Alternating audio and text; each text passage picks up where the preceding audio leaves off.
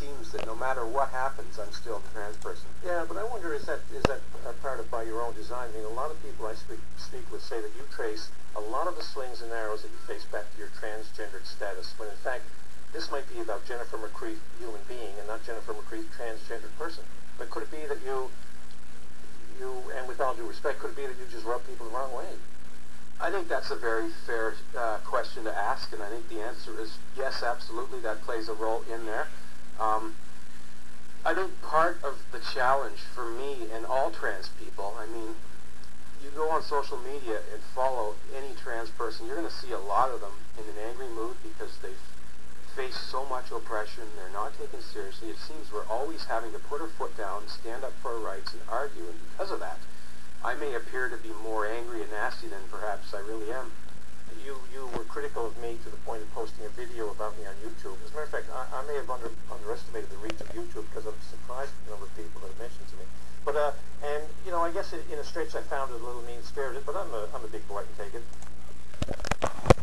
Oh my goodness, yes, he sure could. Uh, hi everybody, it's Jennifer McCreath. Today is April 16th, 2015. I believe it is the 16th, 2014. Gosh, I don't even know what year it is.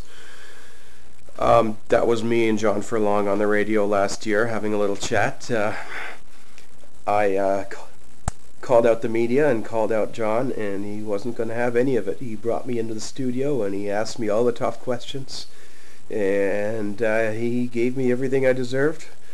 But he, he found a way to do so in a respectful and, and professional manner, and uh, it was brought to our attention that John passed away this morning at the age of 63 due to cancer, and uh, this has got to be one of the most saddest and heartbreaking pieces of news um, for me all year. I mean, he was amazing at his job. He knew exactly what to do and what to say.